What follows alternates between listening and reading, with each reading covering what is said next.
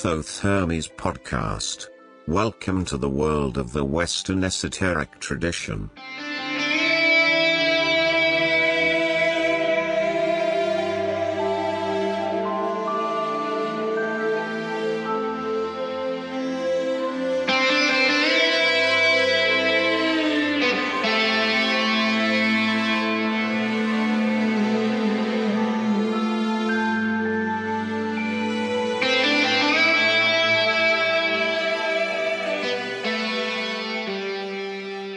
Hello, friends and listeners, and welcome to a new episode of the Thoth Hermes podcast. My name is Rudolf, I am your host, and this is episode 16 of season 8 of the Thoth Hermes podcast. Already two thirds into its eighth season. Wow, time is really flying. It's 12th of June, today, the day we release that episode. And our guest here on the show today is writer and esotericist, spiritualist Naomi Ozaniec. More about her a bit later. And for the moment, it's a great pleasure to have you on board here, to have you back on the Thoth Hermes podcast. I assume many of you are returning customers, as we say, and there are always a few who are new who discover this podcast for the first time, and it's of course a very special pleasure to welcome you for the first time here. I hope it will be for many returns. Um, as always, a little little explanation of what's going on here. The Thoth Hermes podcast is a podcast about the Western esoteric tradition, about all things occult, mystic, and also paranormal from time to time. And uh, I would also like to say that this is already the 130th episode that you can find online at the moment. Isn't that amazing? There were a couple that we took out of the internet because they were outdated simply, but 130 now with this episode are online and you can listen to all of them either on your favorite podcast provider or go on the website thothhermes.com, T H O T H E R M E S.com, and you will find um, all those episodes with the show notes. And that's the important thing because with the show notes, you can get much, much more information than in the podcast itself because there are links to the authors that we interviewed, websites, or to the spiritualists or occultists that we interviewed, more specific um, projects. So you'll find all that in great detail on those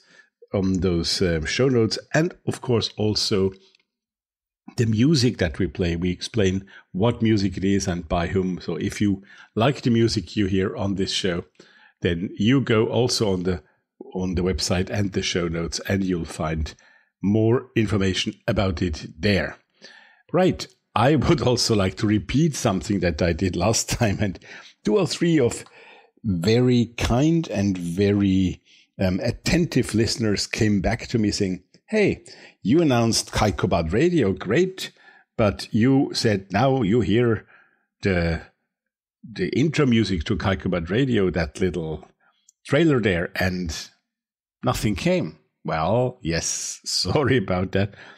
I checked it out and I just made an error when editing this intro and also a second time later on in the show. I just made the same error again. It was not there. So what is Kaikobad Radio? Kaikobad Radio is a new 24-7 internet radio. You find it at radio.kaikobad.com or also on the Thoth Hermes website on the top of the homepage itself.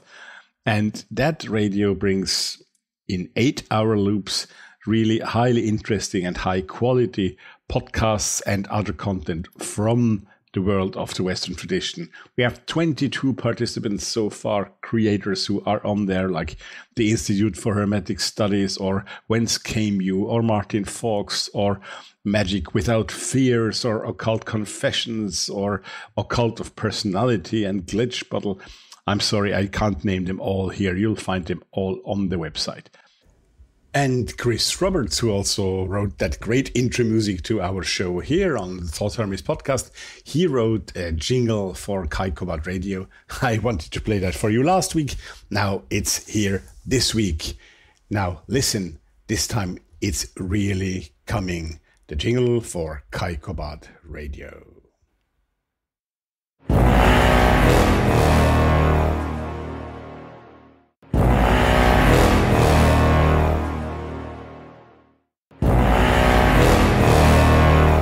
Kaikobad Radio.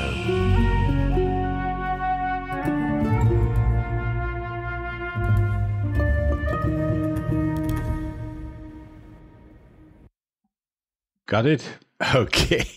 I hope it worked this time. It's lovely, isn't it? It's by Chris Roberts, as I said. And um, well, before we go on and play some more music now here, I would like to tell you also that we need you. Yes, we need your support. We need your support to maintain this show and to make it even more interesting please go on Patreon, patreon.com, and look for the Thoth Hermes podcast. Or if that's too complicated, just go again on the website. It's all there on the website, and you'll find a button which brings you e- ideally directly on the on the page of Thoth Hermes podcast with Patreon.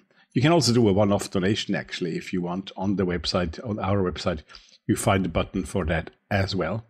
So I hope you'll go there and will be kind enough and bring us some money for making this show happen. it would be really, really, really good.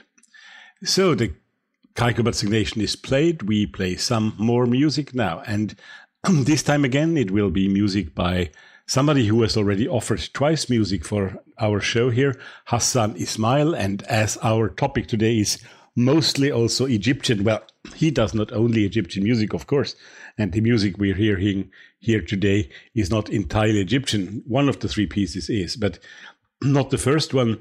The first one that we are going to hear now is a piece by Hassan Ismail, um, which is called As Within. Well, of course, Hermetic, as you can easily discover, as within that we'll continue with. So without, etc. So as within by our friend Hassan Ismail we'll musically open this show.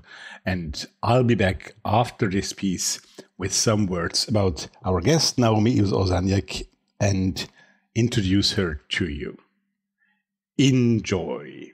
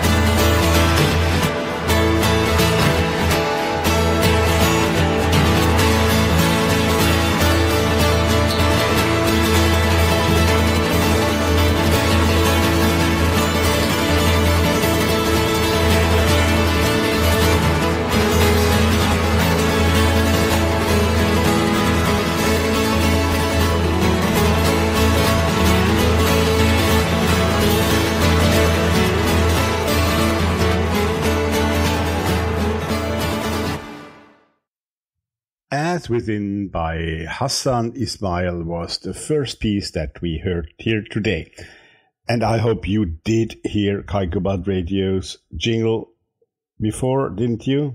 Okay. Well, as a little supplement, I'll play you another jingle, very similar but not the same, um, also for Kaikobad Radio, which we will use when we will do our first live shows. That's also planned in a month or two. So here is the jingle for the live shows, a premiere. Nobody ever heard that online.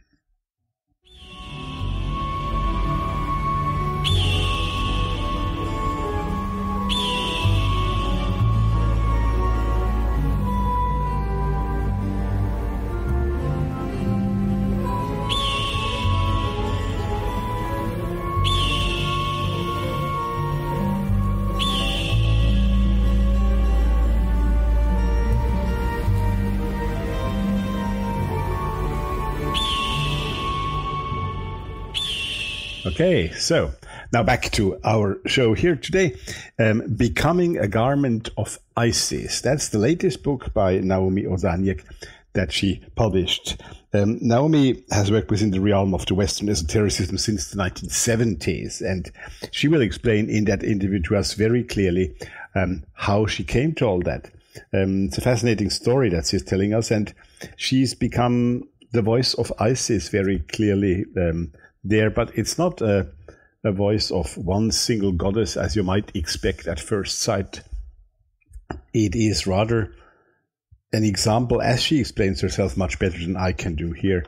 Um, it's rather an example for the Neteru, for the Egyptian gods, which are part of everyday life in the ancient Kemetic religion. Many of you will know that, but in a way that Naomi puts it and also experiences and teaches it, uh, and also teaches it to us in that book, which includes a nine stage initiatory path of Egyptian spirituality. It is really fascinating and was new to me. And um, I think we had a very, very nice talk.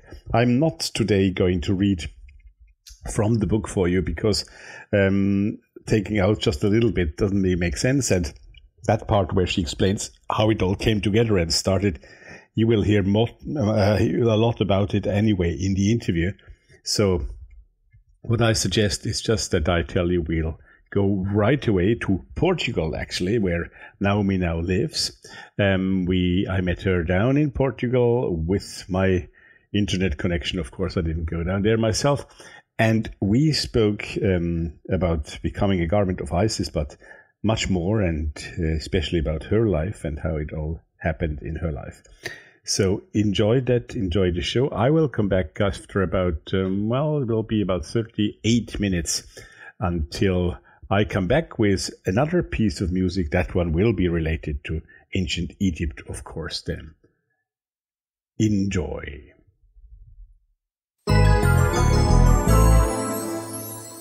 Here comes the interview. I have the great pleasure to welcome on the Thoth Hermes podcast my guest Naomi Ozaniec, or Ozaniak, as I, as an Austrian, prefer to say. Hello, Naomi. It's great to have you on the show. I'm very pleased to be here. Thank you. And of course, the reason, the immediate reason, so to speak, while we are here today is a book that has been published. I believe it's now, well, three or four months ago already. Time flies. Um, uh, with inner traditions, and that book is called Becoming a Garment of Isis.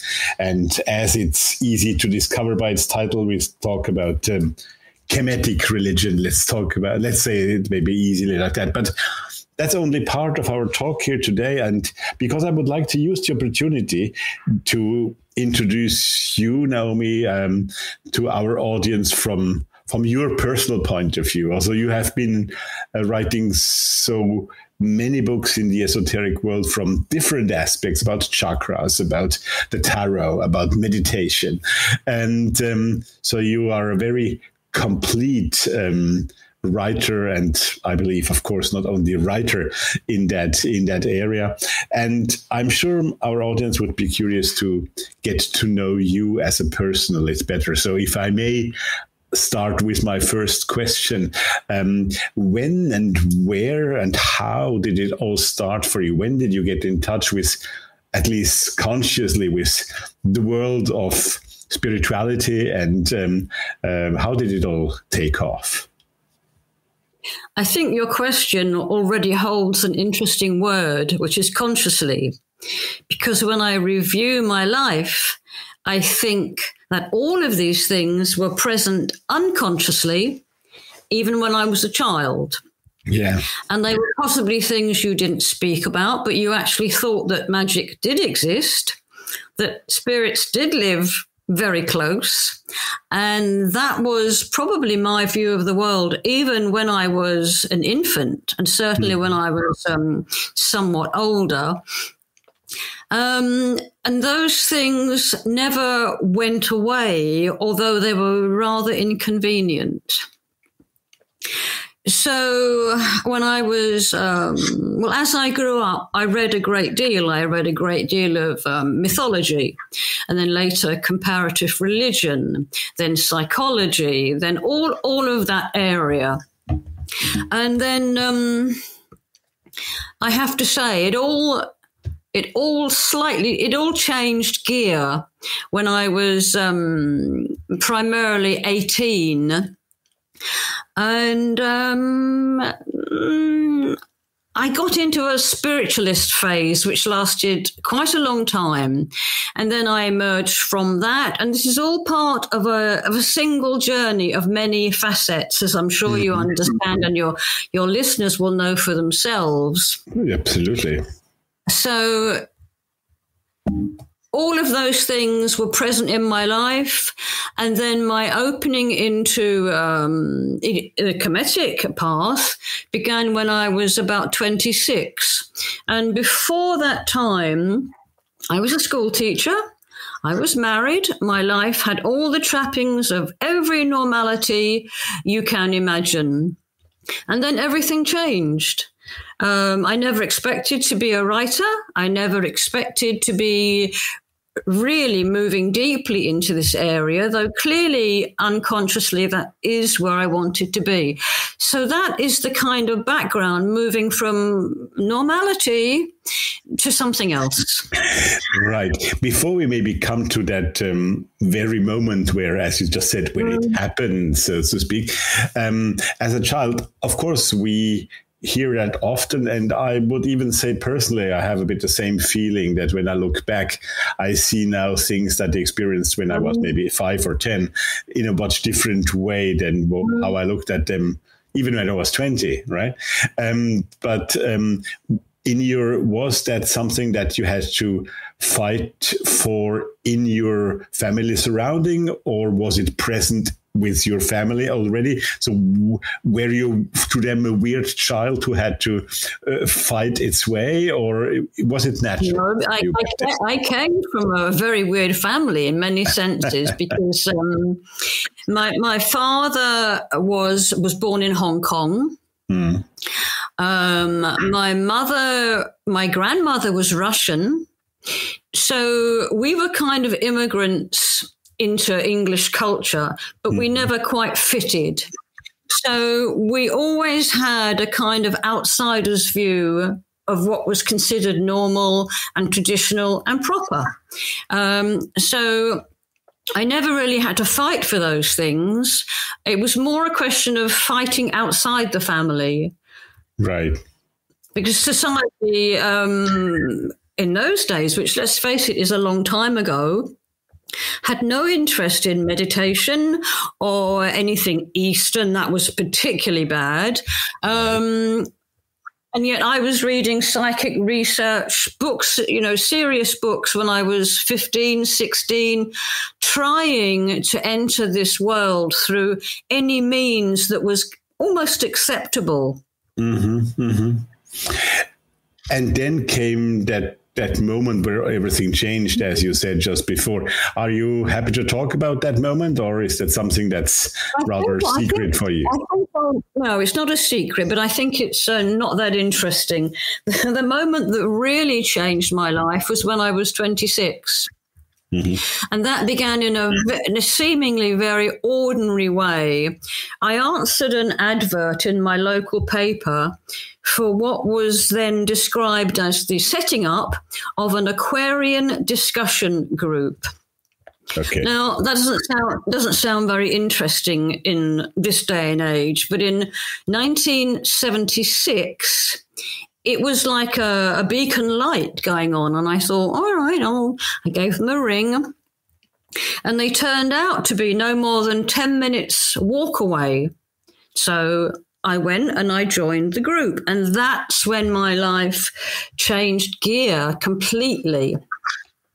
So Aquarian, do we have to um, imagine that like a new age group or uh, Aquarian in, in No, what there was, sense? there was really no such thing as New Age then. Hmm. It was a collection of basically oddballs. There was um, a, a, a medium, there was somebody who said he was a witch, there were various people of no particular persuasion who were just interested in spiritual things. It was as loose as that.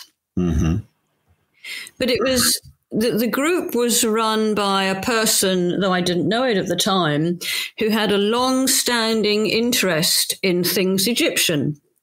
Uh-huh. Um, and I, I will tell you one one little snippet snippet from my, my first my first evening at that in that house. Um, he he everyone introduced themselves, which is the normal procedure for a group meeting up, and he listened to everybody's everybody's uh, contribution and he just made a little comment. And there must have been uh, i don't know 15 20 people in the room. So there was a, a long pause and i was watch listening to everyone and reflecting on him and i was very drawn to looking at him and although I was interested in psychic things, I never really thought I was particularly psychic.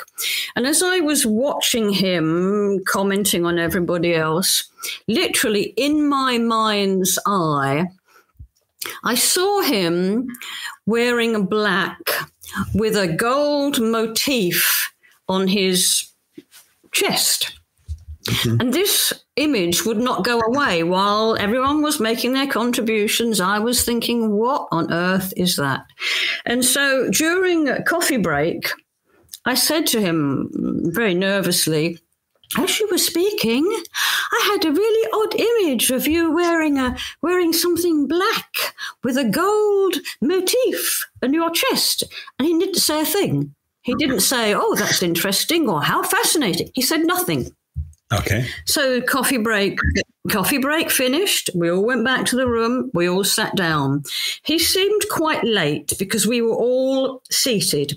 He opened the door. He came in wearing a black robe, full length black robe with a huge circular motif at his chest embroidered in gold.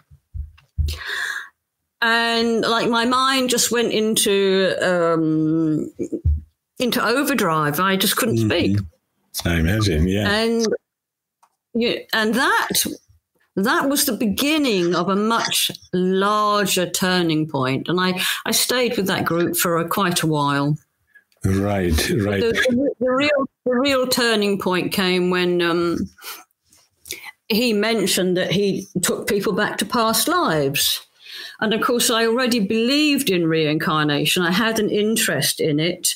Um, and when he asked me, would I volunteer uh, for a session like that? Of course, I said yes. And that's where the, the beginning, the beginning of the end of my normal life came about.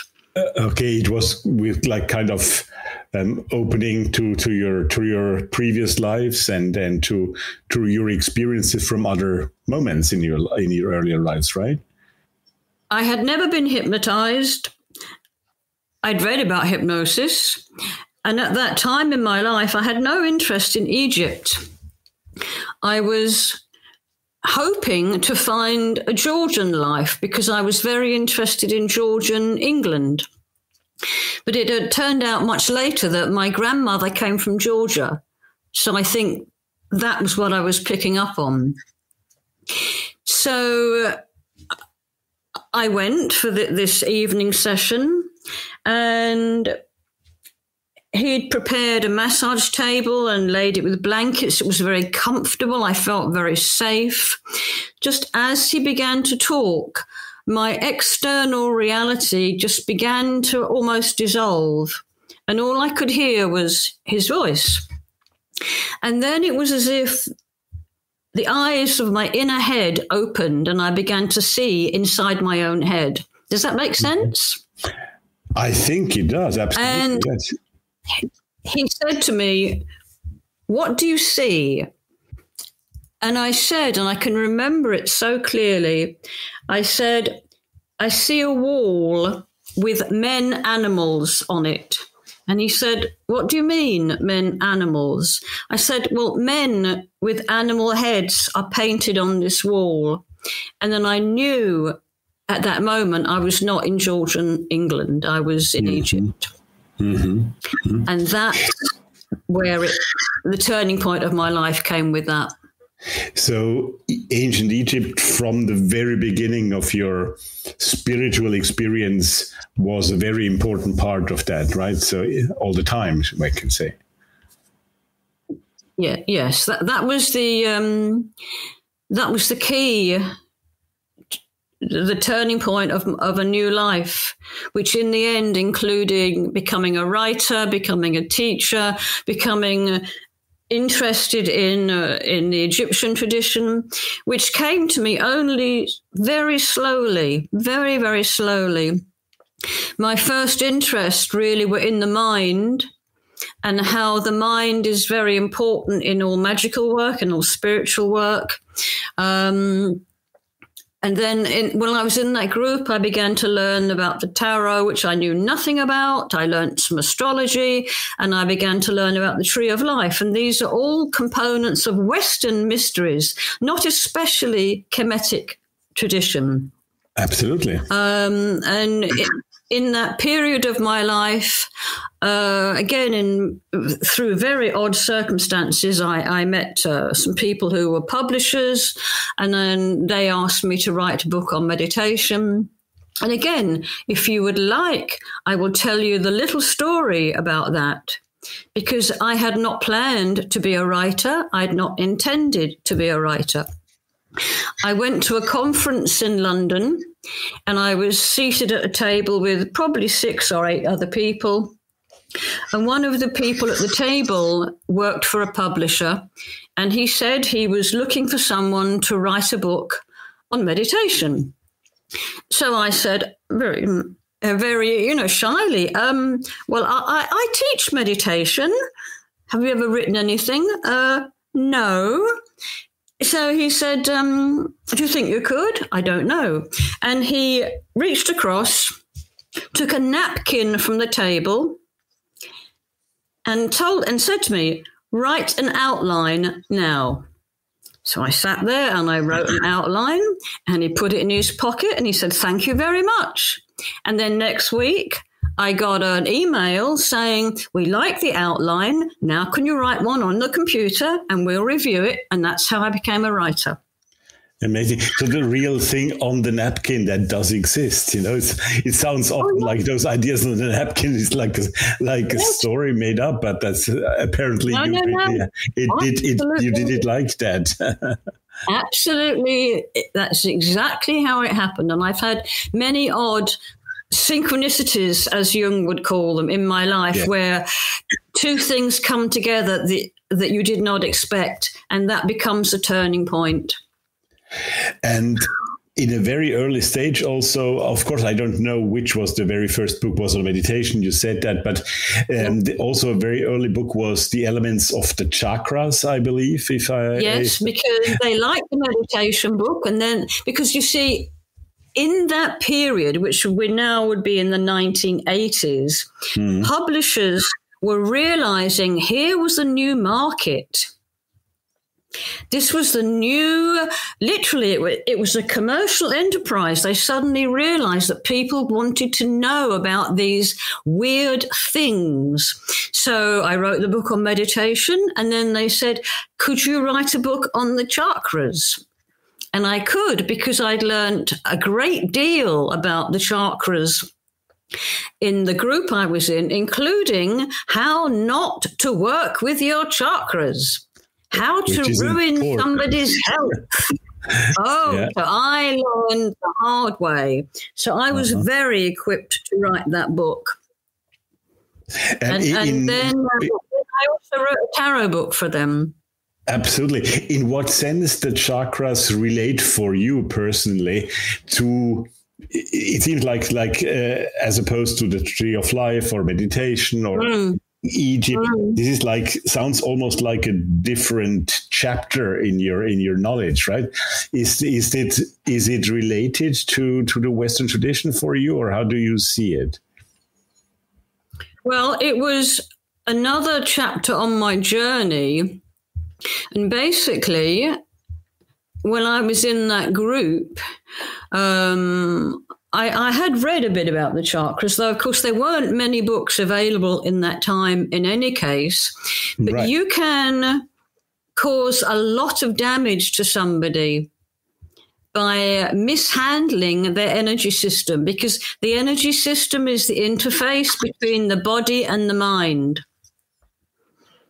And so I, I learned the hard way. It was a baptism of fire. I became very ill. Okay, okay. Let's get back to the Kemetic tradition because how Okay. And when did it become prevalent for you? How, when did you realize that among mm-hmm. all those things that you learned, astrology, tarot, yeah. you named them, uh, that it uh-huh. became the centerpiece of your work, so to speak? That's a very good question because I'd already made a long, long journey without it being especially focused on the Kemetic tradition. But through time, incidences, experiences began to funnel my life and my my all the things I did began to focus almost entirely on the Egyptian tradition. When I was um, at the World Parliament of Religions in Chicago, it was would then be 1993. I was asked to take the role of the um, the Oracle of Isis, and that cemented my relationship with her, which had already begun in the late 80s. Um, and I think through the 90s, it became it became the the key. Once I'd written the um, the Aquarian Kabbalah, which was my contribution to Kabbalistic thought, the Egyptian tradition became, uh, as you said, more prevalent. More, uh, it became my central passion, whether I liked it or not. Um, I have two questions regarding that. One, you just mentioned that book, The Aquarian Kabbalah. Um, I know this is now not related to my Kemetic question, but before we forget about that, what could you explain the term Aquarian Kabbalah? That combination which intrigues me. What what is it? What is Aquarian, the, the Aquarian Kabbalah? Kabbalah? Yes. The Aquarian Kabbalah was a book I wrote which married together the tarot and the tree of life into an initiatory system, which is still, I regard, as the core curriculum of the House of Life, which is my teaching school. Yeah. Um, because to be in the mysteries, your mind has to be rewired it, ha- it begins to work in a different way and it begins to think and function through symbols.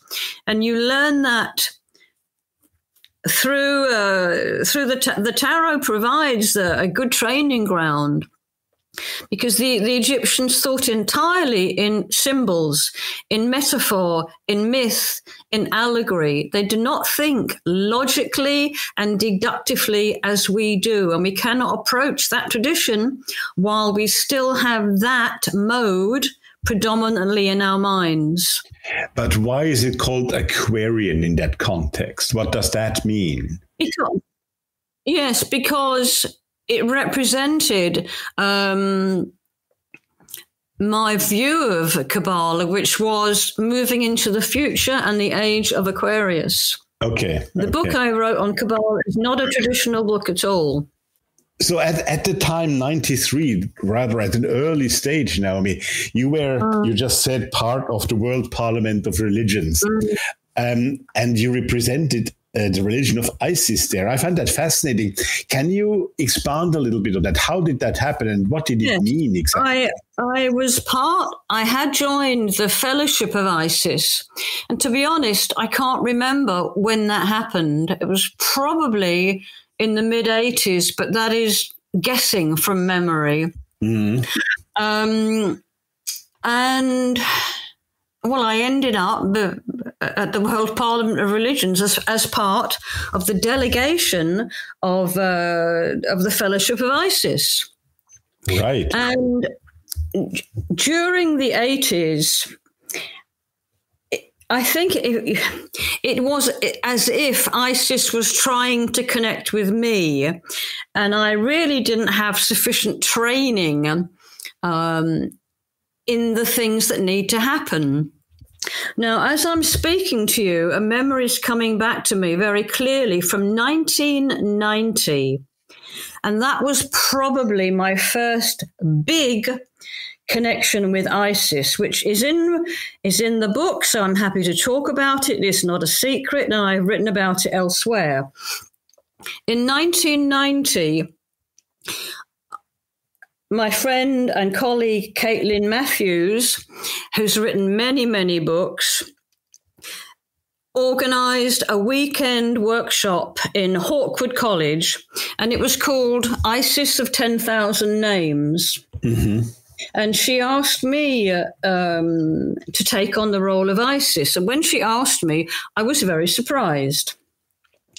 Now, I'll just explain a little bit more about the weekend because the weekend was going to use one of Lady Olivia's rituals that she'd written, Lady Olivia being the founder of the Fellowship of Isis. Mhm.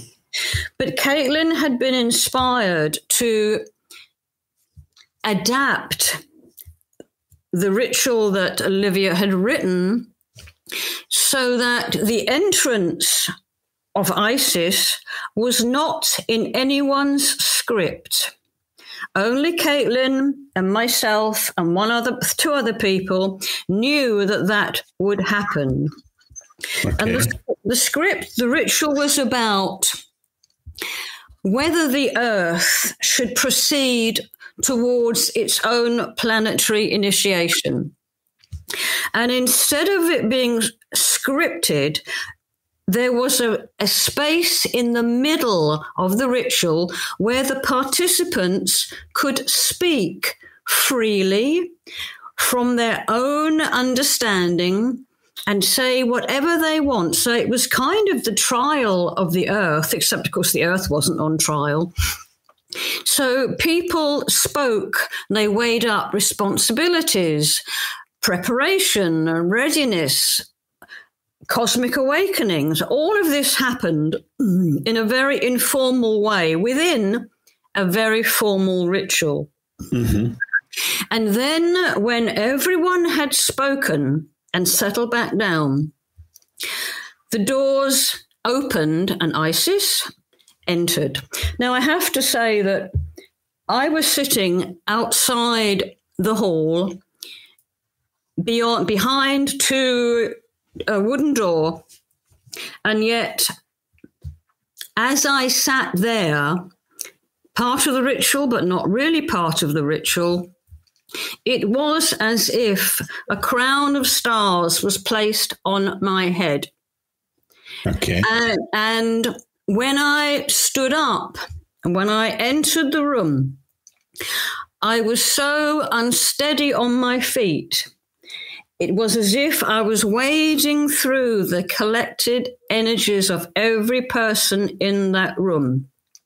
And the intention was that I would walk around the circuit of people, go to the center where one of the characters represented the earth, and I would deliver the famous speech from the, the Golden Ass Behold, I have come. Mm-hmm. I began to walk, and instead of doing what everyone expected, I, she, which is how I write about her, uh, how I write about this experience in my book, I had merged with her consciousness. She stopped at every person and said something briefly. Mm-hmm. So I moved on very, very slowly. And when I reached the appointed place standing in front of the earth, I was literally overcome with compassion and I could hardly speak. And I spoke the words as they are there's given in, in the Golden Ass, the famous speech. And that was my first encounter, if you like, with the presence of that divinity. Mm-hmm. that's what it is. It is a living presence. I cannot stress that enough. Yeah. I cannot you, stress enough. You have to help our listeners here a bit, and me, of course, and also. And Fellowship of Isis, I'm aware of that. Also, I'm aware of, if if I'm not wrong, that the creation year of the Fellowship of Isis coincides with your first experience that you mentioned before in in that Aquarian group. Um, do you see any any yeah. connection, or is that or is that just no, no, they are they are the the the awakening in the Aquarian group in 1976 mm-hmm. was the seed that then became uh, my ability to be the garment of Isis in 1993. Right. That is a long journey. Absolutely. Uh, um, I just uh, say, said that, that the fellowship was created also in 1976. No, no, no, right? no, no, no. The World Parliament was in 1993. The World Parliament, yes, but the, the fellowship itself, I believed, was created in, in Ireland, I believe, in, in that is Correct. It was probably created in the 1970s. Off the top of my yeah. head, I don't quite remember. Yeah, but, but there is no coincidence there. Okay. And, and, is it is it so that the Fellowship of Isis sees the Isis, the goddess, also in all different aspects through yes. different world yes. religions, right? Yes, because she's called Isis of ten thousand names. Exactly, exactly. Does that play a role in the way you approach it? Um, my interest is has become almost entirely focused on the Kemetic tradition mm-hmm. and the place of Isis within that greater tradition. Right, I, I get you. Mm-hmm. Understand.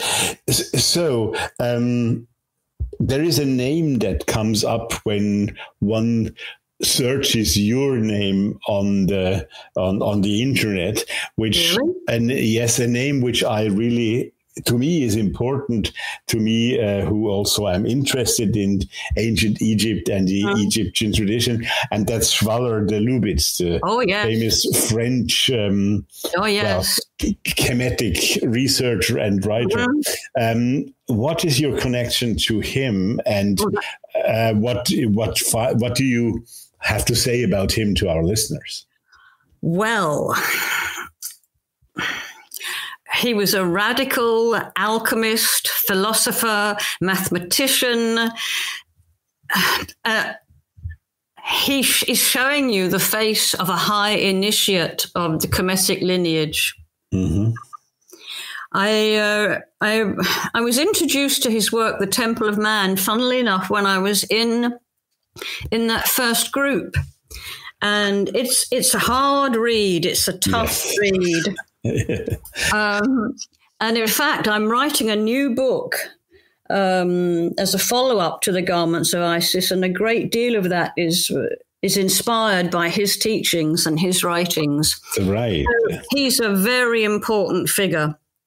Yes. And in in many ways, he stands not opposed to the Egyptologists because that's a little bit um, arrogant, yeah. but he is showing them what they are not seeing because he is looking through the eyes of spirit and through the eyes of a high initiate.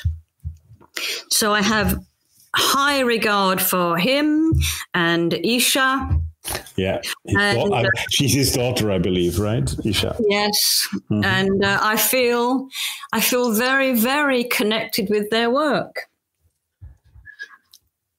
Uh, he uh, ha- have you met him? Well, no, he probably he died too early. He died in the sixties, yes, right? yes. yes, yes, yes. Um, uh, I must say that Ishta's book, also the uh, uh, the two books about which are that initiatic story about that, um, about that young man. In fact, as you, as we speak, that book is no more than five feet away from me, and it's open because I'm using it. Really, it's there over on my bookshelf as well. So mm-hmm. we- we are connected through that. I can only recommend that book also to everybody interested. It's a very initiatic book in a way. It's, It is, but um, Isha writes in a way that is little more accessible, mm-hmm. and Aor writes in a way that is deliberately not so accessible. You have to do the work. Mm-hmm. Absolutely. But let's get back to you, to, to Naomi. So, Okay. um, um, when, when 90, we are in 93, we Yeah. are after that World Parliament of, Yeah. of Religions. Um, how did it continue for you then? How did you get more and more into that Kemetic Um, world? 1993. Um, I think I had begun to write the book that you have in your hand, hmm but that is to say, I'd received a seed only uh, when I was in Melbourne. And uh, it says it says uh, in, in that book that I, I tried to write it four times. Yeah. Each, each time had a slightly different title, and each time had a slightly different emphasis. And the first time I thought it was done, and I looked at it, and it was it was not good enough. So I the, the book eventually took me ten years to write, but I Right. received the seeds of that in many ways by being that garment of Isis at the at the World Parliament, because the connection with her was so intense and that's all I can say. So unexpected to my my ordinary personality self that it, that was another awakening which spurred me on to understand more about her place in the tradition because I do recognize that many women are drawn to ISIS.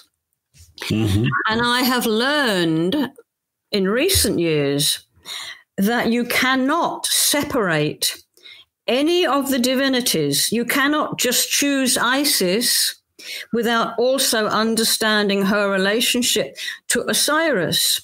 To, to Horus, to Ra, you cannot you cannot break the Kemetic tradition into parts and choose the bit that interests you. That may be how you begin, but you will eventually learn that it is one unified, holistic, mystical, mystical participation. Mhm. You cannot chop it into pieces. And this is what my new book is about. Absolutely. And I think that's very essential because, as you just said, one could, even by the title of the book, one could be misled, uh, believing that it is all about ISIS, but it is certainly not. It is ISIS as a starting point, maybe, but Yes. it, it becomes, as you just said, much more holistic. Yeah. Um, maybe it would be good um, in the introduction to your book you talk about those three principles the principle of simultaneity the principle of pairing and the principle of association. And if i get you right those three principles are crucial to what you just said uh, about that holistic approach right? They are because they're actually showing you the, the way the Egyptians thought, which is totally connected view of life. When things are associative, they are connected. When things have that simultaneity, they are connected. We have lost all sense of that. in our world. And Yes. we are much the poorer for it. Absolutely. But do you think that what you in what you suggest here in this book, this um, holistic approach to life in general, in our life in the 21st century, can be regained? Yes, I do. Mhm. I think in many ways we are struggling to find our way back to this sense of connection because ho- holistic this and holistic that it's become a 21st century buzzword. Yeah. Well, the Egyptians couldn't conceive of anything else other than a holistic view of the cosmos, not just their social order. Their social order was part of the cosmos itself. We are struggling with joining up two dots. Yeah. I do think it can be regained. That's I think that's part of what I'm trying to do through the House of Life, which is my school, mm-hmm. and it's my hou- it, it is called the House of Life Mystery School of Divine Partnership. Divine partnership. It's about learning to extend your hand towards the divinities, and they will answer you back, and they will take your hand. That's for certain. Uh, are you talking when you name it partnership? Are you talking about the partnership between uh, human and divinity, or is it a different partnership that you're addressing here? I'm talking about a partnership between between the initiate and the divinity. Right. Let's interrupt here and uh, bring to you another piece of music by Hassan Ismail, who has already appeared twice on the Thoth Hermes podcast with his um, with his music, and it's a great pleasure to have him back again. And well, the next piece is very adapted to uh, today's topic. It's called Pyramids of Light, and it's from his new album, The Ancient. And uh, well, I don't know if that album is exactly the newest one. And we have another one, uh, another album which is called Space Embrace, and that was actually the first piece we heard, As Within. That was from that new album, and The Ancient, I believe, is a, uh, an album that has existed for uh, some time. Um, anyway, we're gonna hear Pyramids of Light now. And then I'll be back with Naomi for another 36 minutes of an exciting interview. And I hope you enjoy it just as much as the first part. We talk a lot more about the book in that second half. And after that, third piece of music by Hassan, by Hassan Ismail. And that's again from another from another release, from another album. And that one I believe is also new. It's called Entropia. Well, also very esoteric, very hermetic as all his music. And it's actually the title song from Entropia, which is called, yes, Entropia. So once again, we are now hearing Pyramids of Light by Hassan Ismail. Then I'll go back and talk to Naomi Ozaniec in the second part of the interview. And after that, immediately, Entropia by Hassan Ismail from his album, which is called also Entropia. And after that, of course, I'll be back for next week's guest announcement, so to speak. Right. So let's go to the pyramids of light.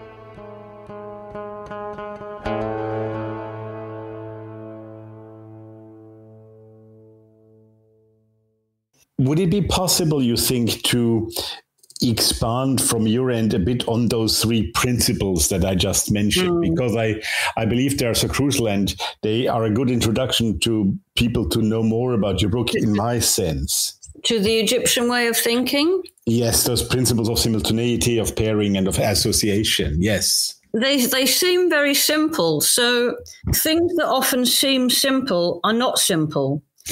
yeah. And they deserve to be reflected upon, to be meditated upon, and to be applied to the world as it is today. So, my answer to the question you have posed is that I would throw that back to the listener and say, What in your experience is association? To me, the sun and the moon are associated, but we don't think of them in that way, or not often enough. You cannot separate anything You can't separate a tree from the water that fl- flows from the sky to create the tree. Yes. You cannot associate. You cannot disassociate anything in nature from everything itself. And simultaneity means that things are happening all the time, continuously in a cyclic fashion. Day and night are cycles of time. As soon as you separate those things, you destroyed the holistic perspective. Mm-hmm. Absolutely. And, and when you talk about pairing, Yes, things being the Egyptians were very fascinated by this concept of duality. It runs very, very deep in in their thinking. You have the red crown and the white crown, and the uh, left bank and the the right bank of the Nile, day and light, a day and night. But they are they are polarized, but they are not oppositions. yeah, They are part of something greater. And that's what that sense of pairing is. When even when they paired even Horus and Set, who usually you think of as being enemies, but they were able to reconcile that through the light and the dark are part of the same thing. Uh, you see that also in the in the pairing in general in the Ogdoadic tradition, for example, you have those four pairs of Yes. deities which are probably opposed if you take them from modern contemporary way but as you just said they are they They, necessarily they are, belong they together are, um, they are the, the creators that, uh, uh, of all that, you know, the, of the world Yes. that we see. Exactly, that. exactly exactly and when i hear that of course what comes to mind um, especially the principle of pairing is classical hermeticism because this what is above is below etc Yeah. that that's exactly what is expressed in that principle of pairing as you Yes. just explained it Yes, right it exactly is. And and what is interesting to me is that we we, we do fall back on the Hermetic tradition, obviously, but where did that come from? Mhm. Well, it, it came it came into Greece through Pythagoras and Plato, and where did they learn it? They Yeah, learned it in Egypt. It So- is a, Hellenistic tradition, right? Uh, because Yes, because uh, which came out of the Ptolemaic period in, in, in Egypt, of course. That is, that is right. hmm hmm So, in ma- in many ways, you do see that reflected in the Hermetic tradition.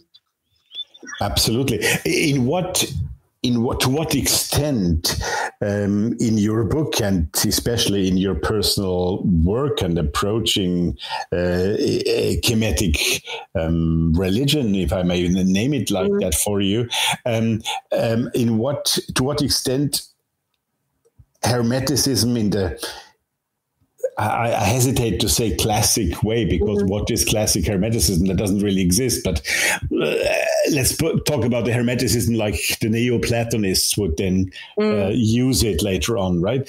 Um, in, in to what extent does that Hermeticism play a role in your way of approaching things here? Uh, less than it used to. Um, I think I was most immersed in the Hermetic tradition when I was writing the Aquarian Kabbalah, and uh, that was very much my introduction to the Western mystery tradition. And now I'm much more focused on, if you like, the root stock itself, because I do see the Kemetic tradition being the root stock of Hermeticism. Mm-hmm. And of course, Thoth is regarded as being, you know, one and the same of Hermes. Well, Yeah. I now work more directly with the Egyptian, the Egyptian deities. Right.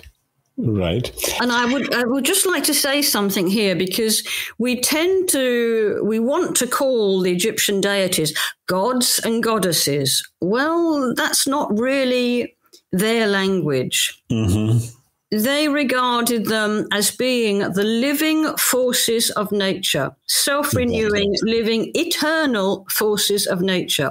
The Neteru, right? That's what this term means. the Neteru. And Yeah.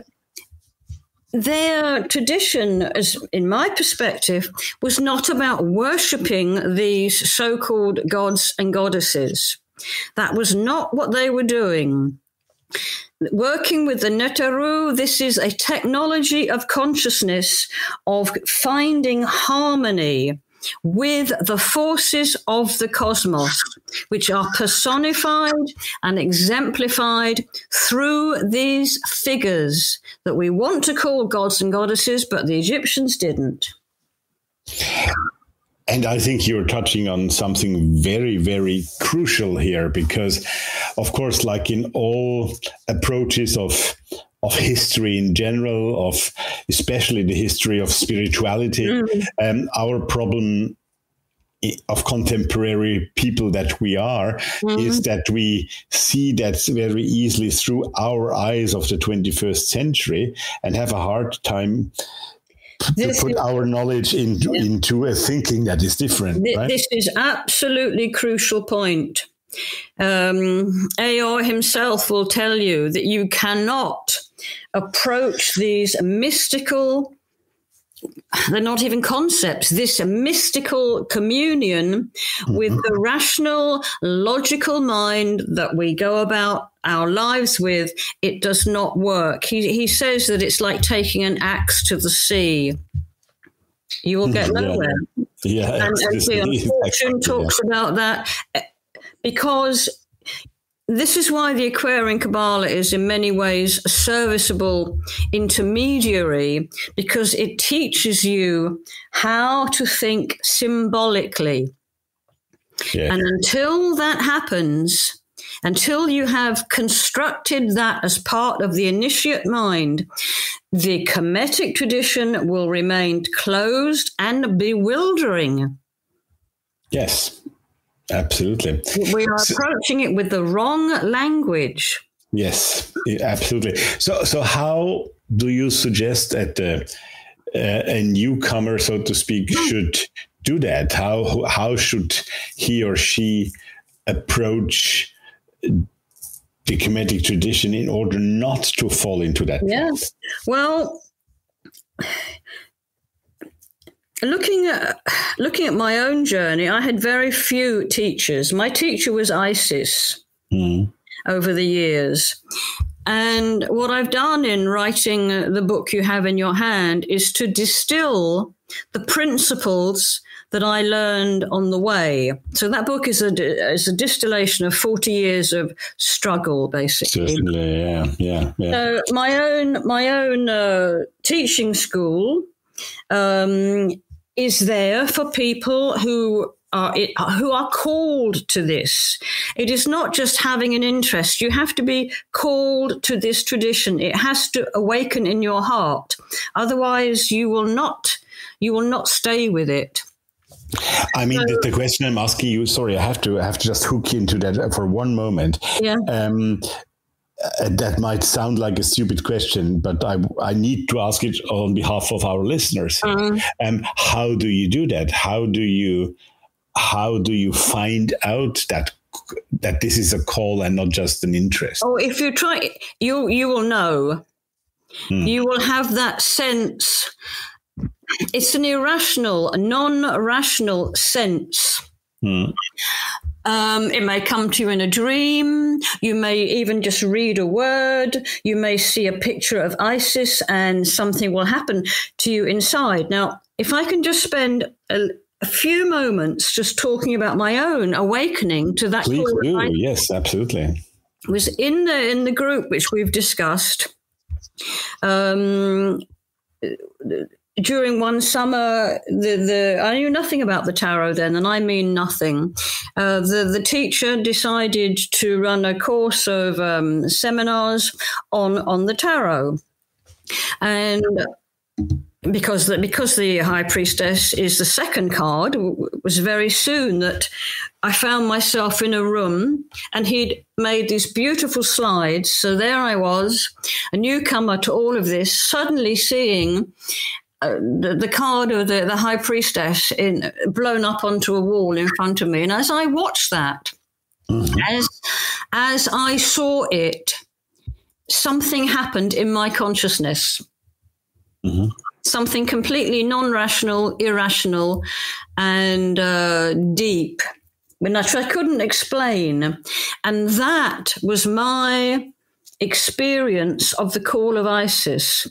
Seeing, if you like, her through the card of the, the, the tarot image of the high priestess, because of course that card is called She of the Silver Star, and that is Isis. Yeah. Mm-hmm. Um, and that was another mini seed on the way. If the call exists in you, probably through far memory, it will awaken in its own way, and your conscious mind will register what has been given to you. Okay. Mm-hmm.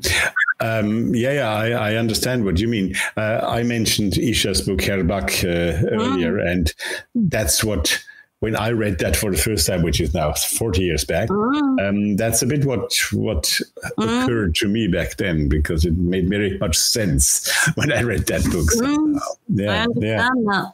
yeah. So um, let's go back to your book that I, as you say, have in hand here in mm. front of me.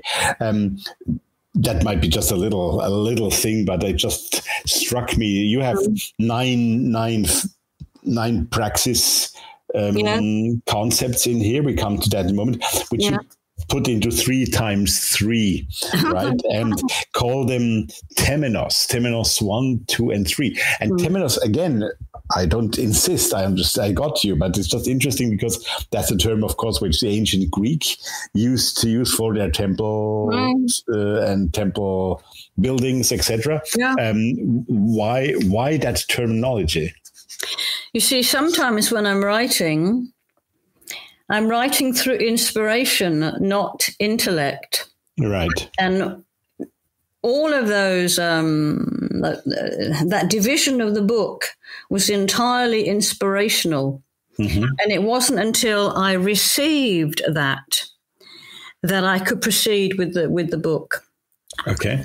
And because the Kemetic tradition is actually one of personal revelation. Yes.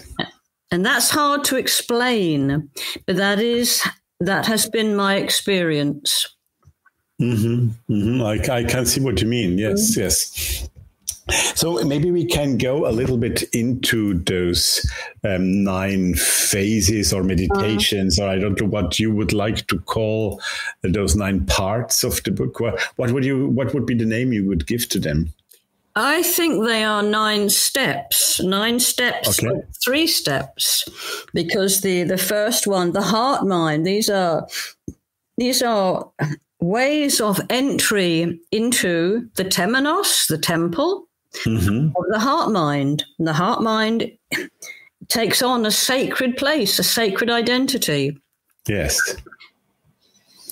And these and are the way the book is written. I think that these are steps that any serious and interested and genuine reader can apply to their life. And if they apply it to their life, change will begin.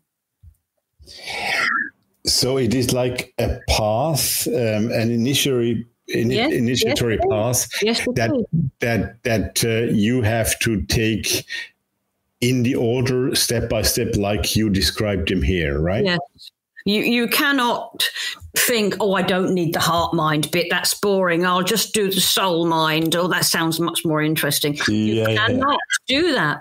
It's like saying you want to put the roof on the house before you put up the walls. It doesn't yes.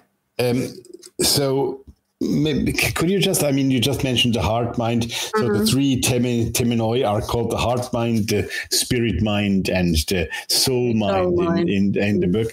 Um, can you briefly um, introduce each of those three, what they consist of, what they mean?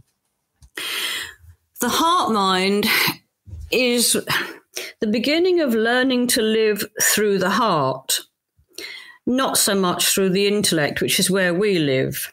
Mm. And the heart was very important in uh, Kemetic thinking. And the, the, the heart was central. And they talk about the weighing of the heart at the end of your life.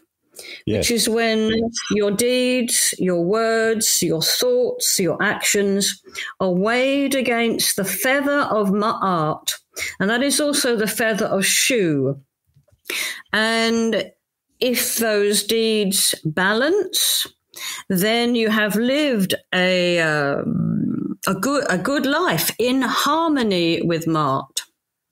If those if it does not balance, then you have failed to live up to the teachings of Ma'at. Um, I mean, um, most of our listeners will know about the feather of Ma'at, but I find it such an intriguing and interesting concept that one simple feather can throw over the balance um, of of a life, even if a badly mm. led life, it can be turned over by something like the feather of Ma'at. Mm. And that I would love you as a specialist, as a really knowledgeable person on that matter, just hear you one more minute about that, if, if that's possible? Well, Ma'at was the absolute, she was the heart mm. of Kemetic thinking. She yes. was present in the social order, in the cosmic order, in the way people lived in community, in the way they ran their lives in a personal level. So Ma'at, the harmony of Ma'at was what glued ancient Egypt together. And so her symbol was the uh, the white feather, and this is the white feather of Shu. And Shu is one of the is the uh, one of the early uh, members of the Ogdoad, the creator mm-hmm. of air. And air is a co- air is a concept that we share. Yes. Nobody owns the air. Mm-hmm. So this is taking you back to the ability to lead that shared life. And Ma'at, the, the law of Ma'at, which is about justice, harmony, is showing you how to do that. Absolutely. Mm-hmm.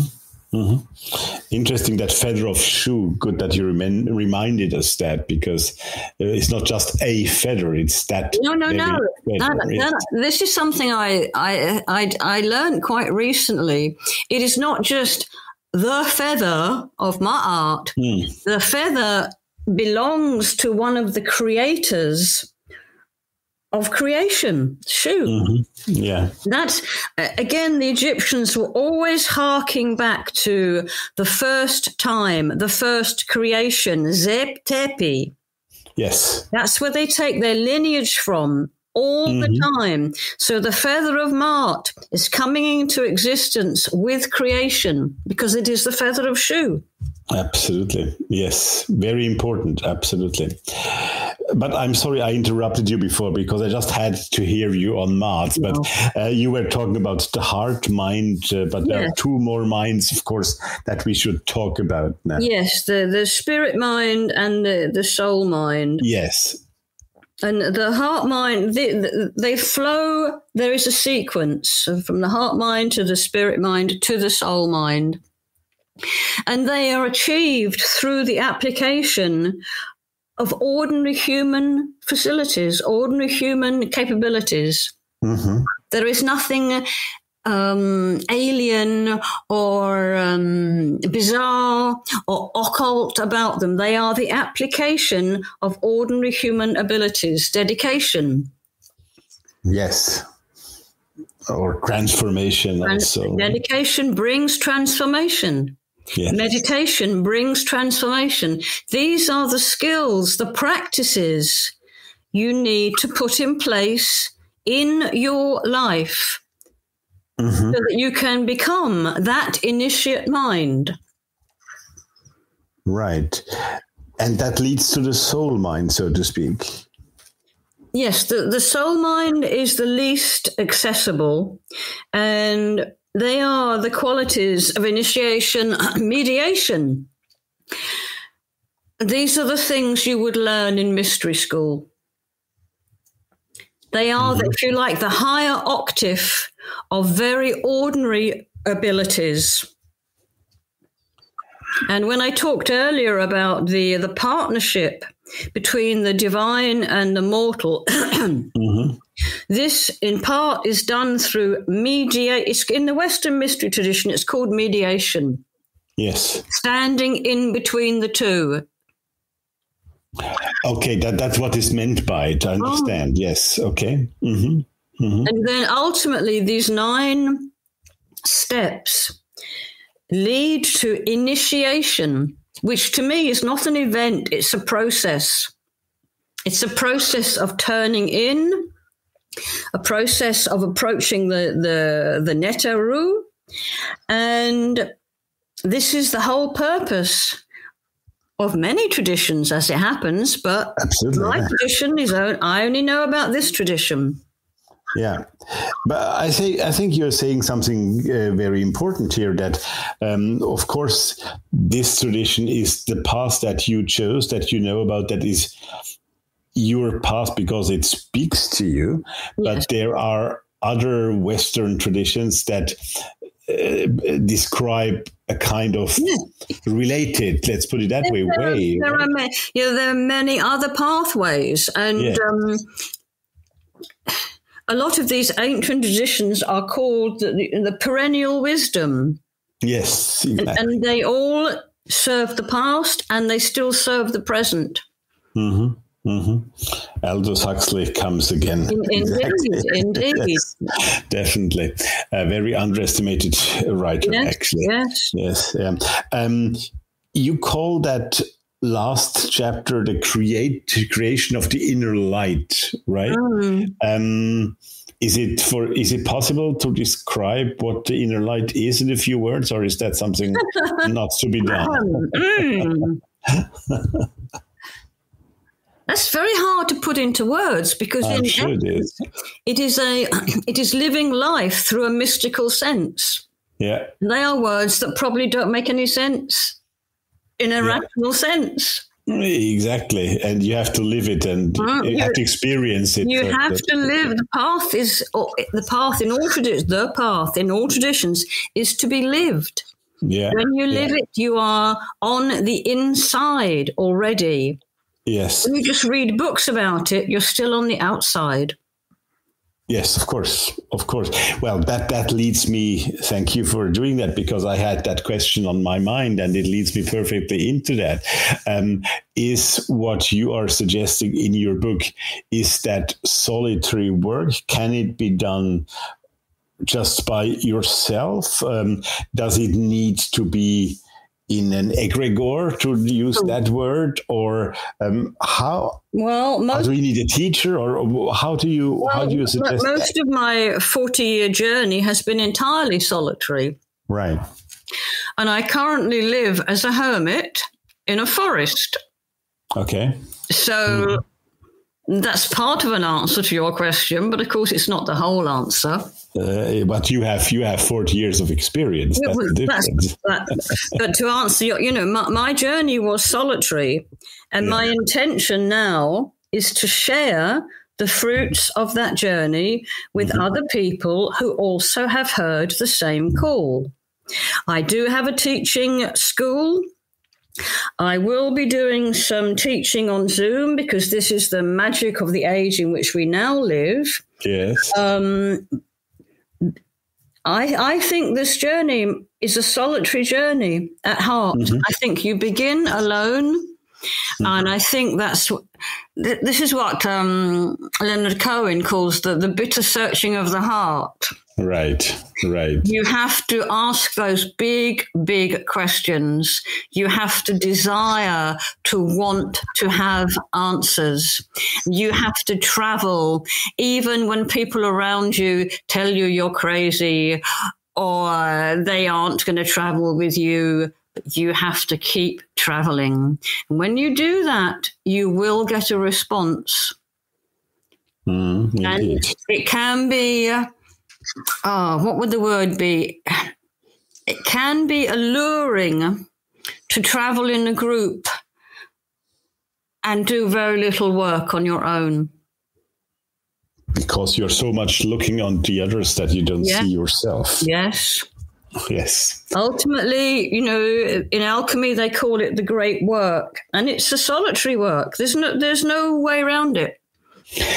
Uh, I don't know if you made that experience, but I find it interesting to hear that the the period now that we just went through the last two years with those lockdowns mm. due to COVID, etc., mm. um, that that brought to mind of many esoteric uh, occultist workers mm. that the fact of doing your work as a solitary by mm. yourself has maybe more quality than mm. group work. Maybe I'm uh, maybe I'm partial on that, but um, I have the impression that even larger groups, I don't won't name any here now, but I found out that through Zoom work, etc., they can just as well do their teachings and leave the work to each member themselves. Mm.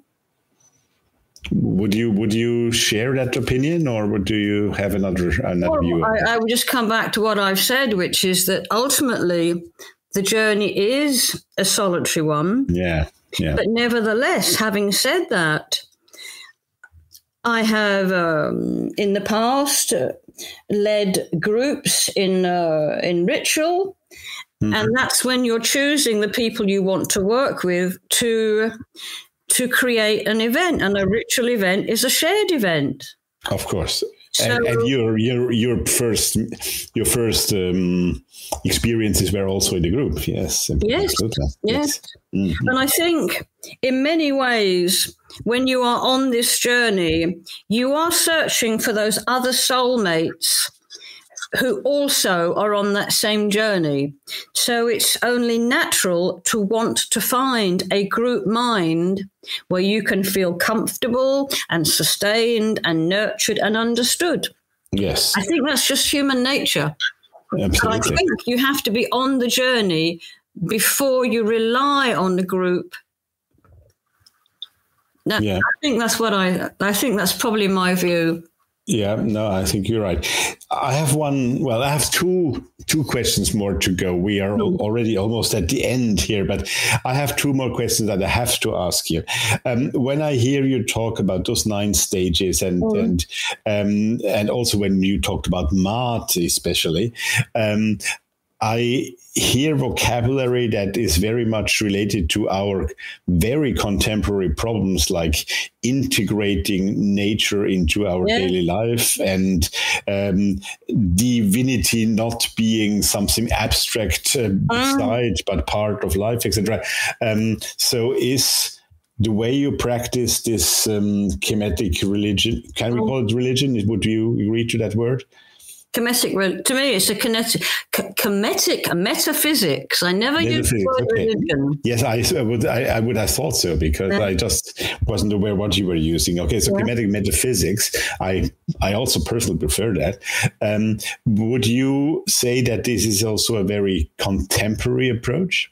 I, I think the the way the ancient Egyptians viewed the cosmos and their place in it is much needed today because it is all the things that we have lost. Yes. We have no sense that we are part of nature because look at what we've done to the planet.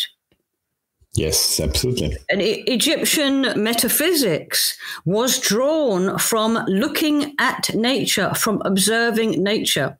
Mm-hmm. That's where they drew it from. And working with nature. And working, working if you like, through my, my art with nature. And yes. the uh, the Neteru were conceived to be metaphysical living principles that worked through the world, through nature. Mm-hmm. This is so important because we have this very strange separation between God, who lives in the heavens somewhere, and mm-hmm. we live on earth. And mm, what more can I say? Yes, I see what you mean. Yes. the Egyptians, their gods were implicit in the sunrise, in the sunset, in the hours of darkness, in the hours of light, in the yes. waters, in the air. Mm-hmm. And mm-hmm. we tend to think that the Egyptians had a pantheon of gods. Well, I think I've already dispensed with the fact they didn't use the term God. Yeah, absolutely. They personified, made sacred every aspect of nature. Hapi yeah. was the god of the Nile. Yeah, absolutely. To rivers. Yeah, yeah, yeah. Well, and you find that in classical Hermeticism, then in in the elementals, right? Yeah. What they call elementals. That's in fact to me a kind of rendering of what the Neteru meant, right? Or yeah. means. Yeah. Yes. Absolutely. I, I, you asked me earlier on about how is it possible to to recapture some sense of what the Egyptians, how they looked at the world.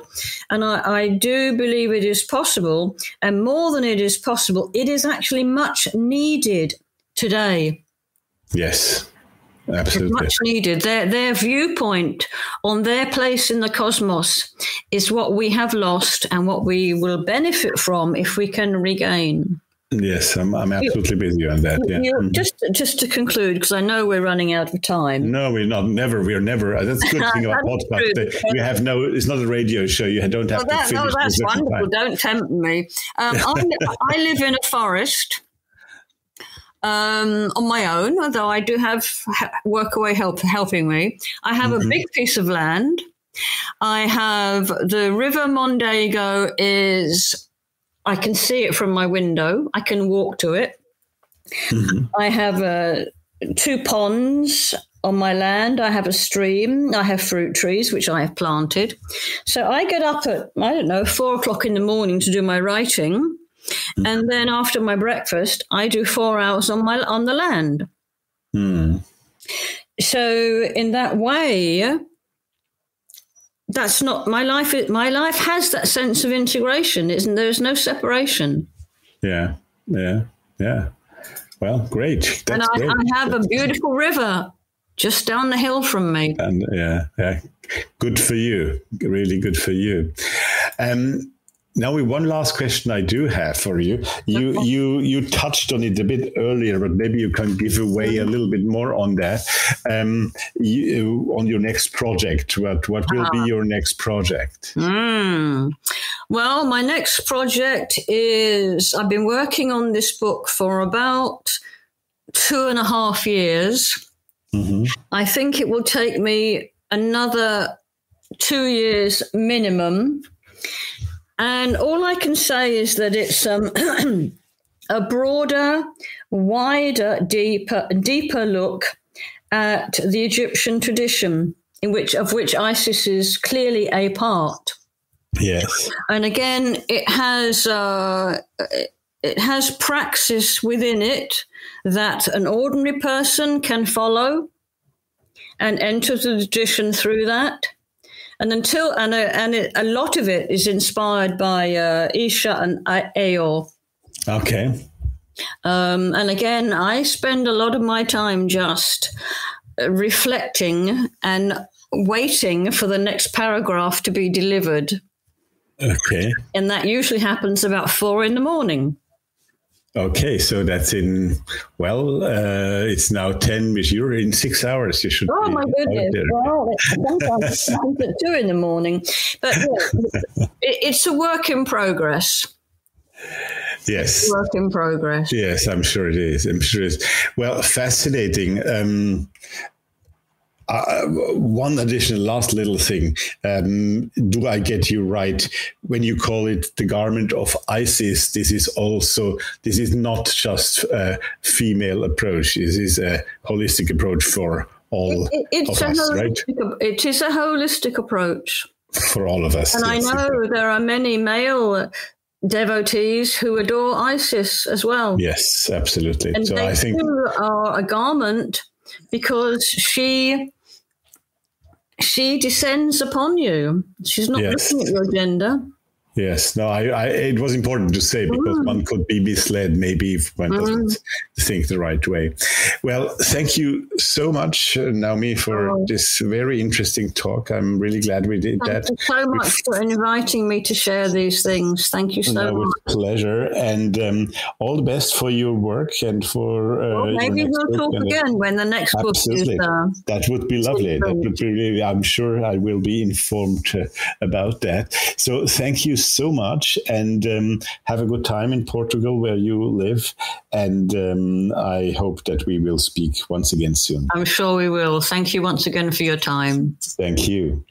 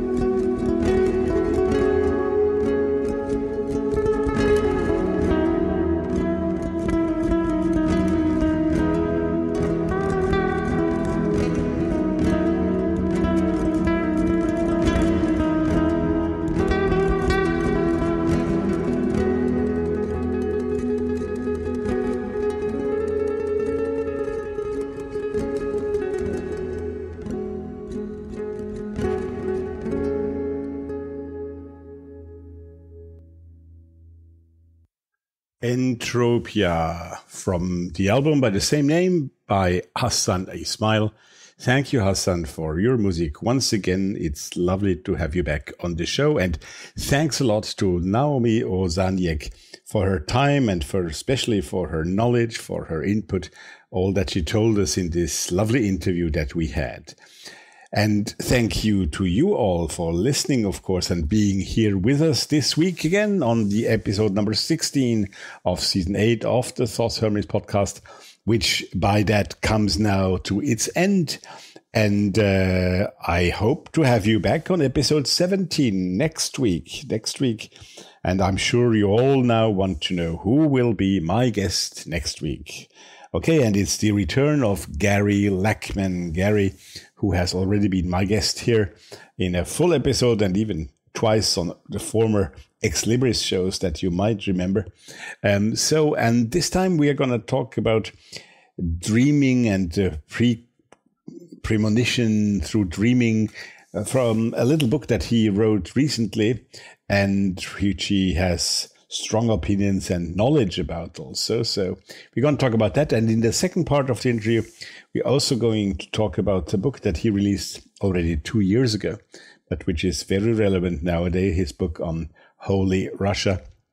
So we're going to have a talk about that as well, at least part of the show.